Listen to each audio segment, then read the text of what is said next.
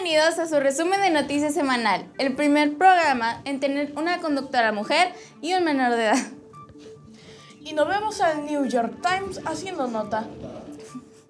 Sin embargo, para nosotros, el único resultado que nos mueve es el de su preferencia. Eso y las views. Sobre todo las views. Estas son las noticias. Babo llama irresponsable a Belinda en entrevista. Belinda versus Babo. Es nuestro Drake versus Kendrick Lamar que no sabíamos que necesitábamos.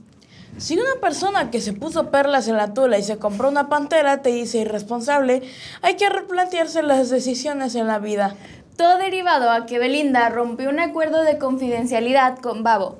Babo se tomó muy personal eso de que le encuentren en el celular los mensajes de WhatsApp. También, ¿qué esperaban Babo de una persona que se reventó una manzana en la cabeza? La llama irresponsable después de haber pasado tiempo en prisión por haber matado a su amigo por accidente. Esto es como si un diputado insultara a los huevones o como si Checo Mejorado insultara a los ancianos seniles. Belinda ahora le guarda tanto coraje a Babo que quisiera tratar a Babo como trata a las manzanas. Babo dice que no pudo andar con Belinda porque ella lo rechazó por un motivo importante. Ya no hay donde se puede tatuar su cara sin que parezca que tiene chipotes en la frente. Desgraciadamente estoy decepcionado de que todos los insultos que puede usar un señor pelón y tatuado de Santa Catarina, Nuevo León, Babo usó irresponsable como si fuera señora San Petrina. Herederos de Maradona piden que se confisque su balón de oro perdido por más de 15 años. Herederos declaran que no es justo que el balón esté perdido, después de que Maradona se lo ganó por sus buenos pases.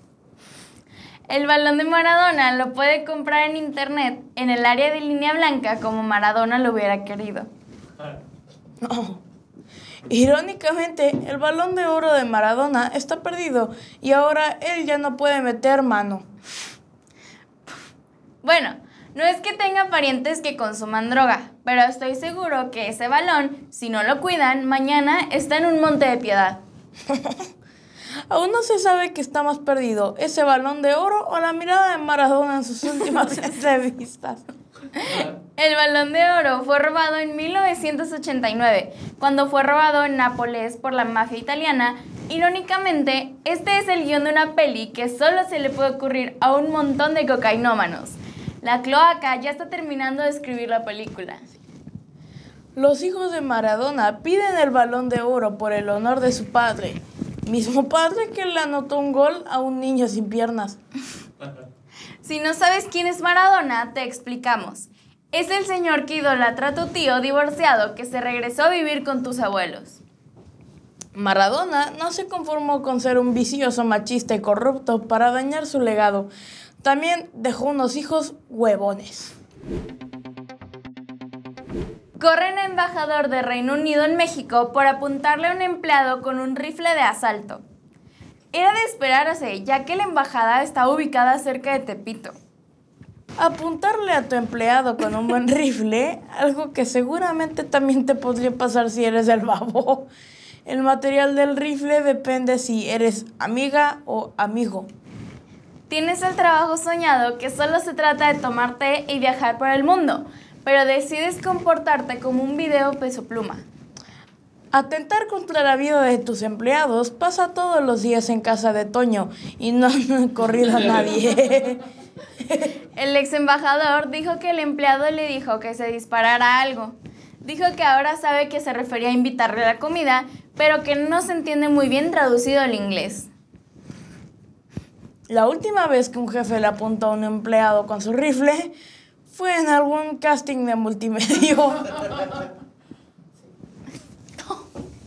Sí, es polémico, pero también ya lo están considerando hacer Salinas Pliego con Morosos en Electra. MrBeast se convierte en el youtuber con más suscriptores en el mundo. MrBeast ha hecho millones regalando millones. MrBeast y Karely Ruiz son la prueba de que mientras más des, más recibes. Mr. Beast actualmente también es como un hombre blanco rico antes de que se prohibiera la esclavitud. Ha hecho mucho dinero vendiendo chocolates.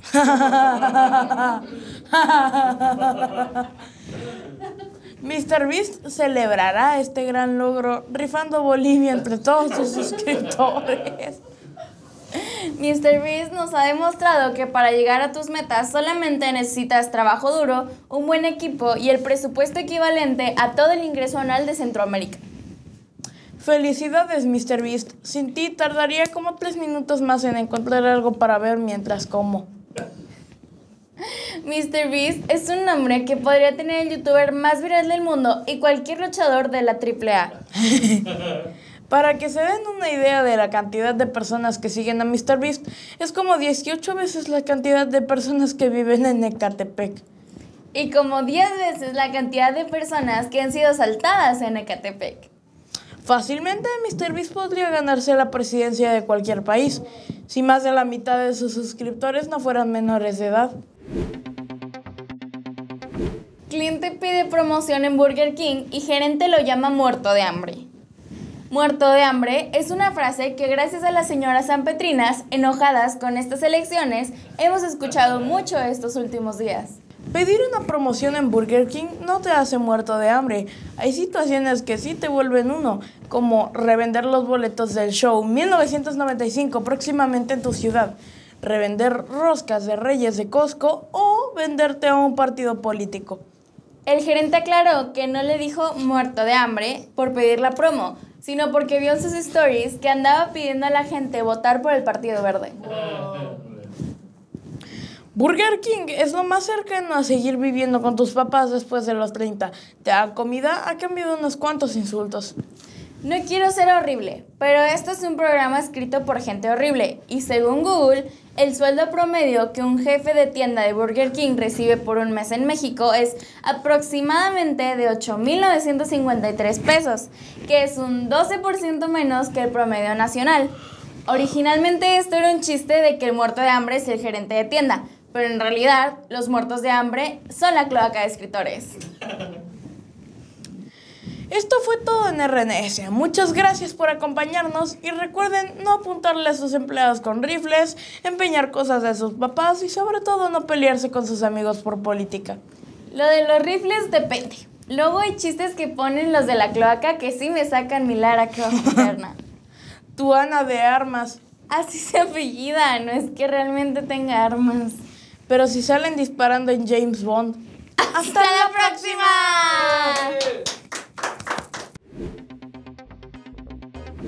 Todo derivado que Belinda rompió un recuerdo de confis... Un confi... Confidencialidad. Apuntarle a tu empleado con un buen rifle. Apuntarle a tu... Revender roscas de Reyes o de Costco o vender un partido político. Vender roscas de Reyes de Costco, no o Costco.